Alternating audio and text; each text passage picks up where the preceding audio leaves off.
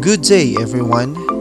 In this lesson, you will learn the concepts that you can use to investigate the relationship between the amount of force applied and the mass of the object to the amount of change in the object's motion. The lesson objectives are Describe how external forces affect object at rest and in motion. Explain how the net force acting on an object affects its acceleration. And compare interacting forces in terms of magnitude and direction. An object may be acted upon by several forces whether object is at rest or in motion. An object may be pushed or pulled in different directions at the same time. For you to identify the forces which cause the change in the motion of the object, it is important to determine all the forces acting on the object.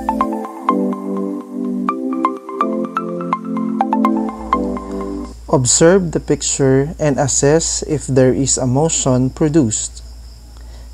Why do you think so? Motion is a phenomenon in which an object changes its position over time. Motion is described in terms of displacement, distance, velocity, acceleration, speed, and time. In this illustration, the bus is moving from its reference point of its place of origin. The bus moves with constant speed. With regards to the man, there is no motion as there is no change in his position nor displacement. What will happen to the man as he is standing still and the bus suddenly accelerates? How about when the bus suddenly stops? Force is simply defined as the push or a pull of an object with a specific magnitude and direction. The push or pull on an object can vary considerably in either magnitude or direction. The man's body has inertia, and so a force is needed to change its velocity. The man's body moves backward as the bus moves forward. The illustration earlier demonstrates the property of an object to resist any change in its state of motion. This is known as inertia. A body at rest remains at rest, or if in motion, remains in motion at constant velocity unless acted by a net external force. All objects have the tendency to resist changes in their state of motion or keep doing what the objects are doing. However, changing a body's state of motion depends on its inertia. A more massive object which has more inertia is more difficult to move from rest, slow down, speed up, or change its direction. Inertia is exhibited when the body moves forward as if it continued to move. This is the reason why drivers need to buckle up their seatbelt to prevent them to move forward in case there is a sudden stop or bump. Study the figure shown on your screen. This shows acceleration of a large mass of object. The moving truck accelerates at speed lower than smaller object with smaller mass. Newton's second law pertains to the behavior of objects if the forces are not balanced or if the external net force is not zero. In the presence of a net force, the object will accelerate.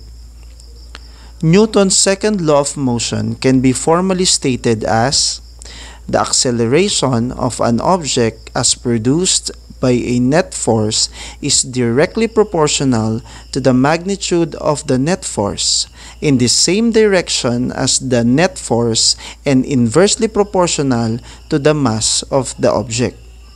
The second law states that The acceleration of an object is dependent upon two variables the net force acting upon the object and the mass of the object.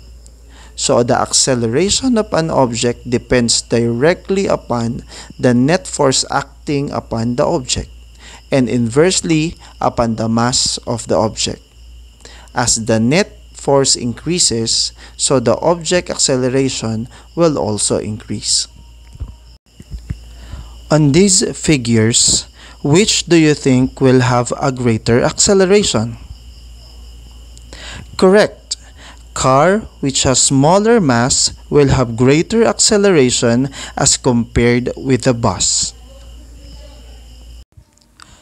Force is measured by multiplying the mass of an object to its acceleration.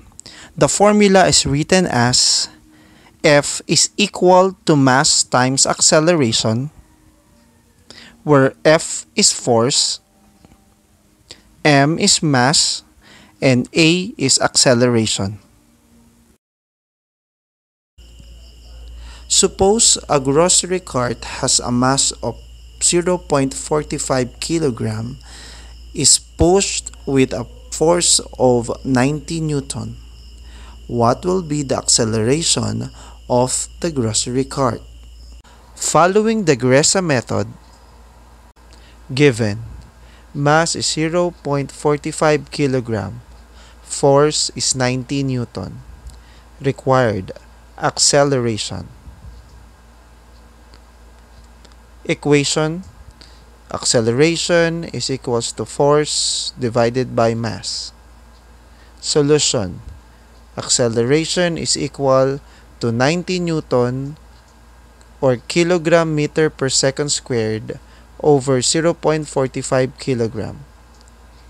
Answer acceleration is equal to 200 meter per second squared.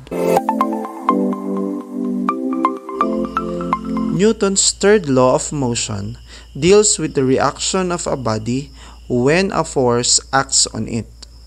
Let a body A exerts a force on another body B.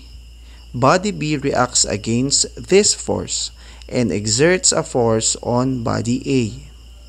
The force exerted by body A on body B is the action force, whereas the force exerted by body B on body A is called the reaction force. Newton's third law of motion states that to every action, there is always an equal but opposite reaction. According to this law, the action is always accompanied by a reaction force, and the two forces must always be equal and opposite. Note that action and reaction forces act on different bodies.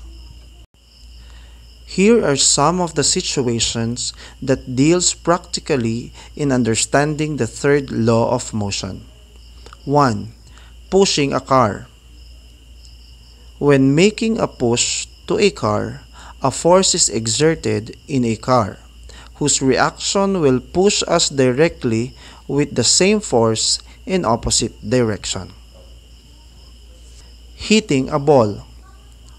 We exert an amount of force against the ball with the bat, which in reaction exert the same force on the wood. This is why the bat can break while the balls are thrown. Deflating a balloon. The air inside rushes down and the balloon moves upward. In this situation, the action is by the balloon that pushes the air out when setting free. The reaction is the movement of the balloon upward. For you to measure your understanding for this lesson, please answer the learning task 1 to 4. Thank you very much.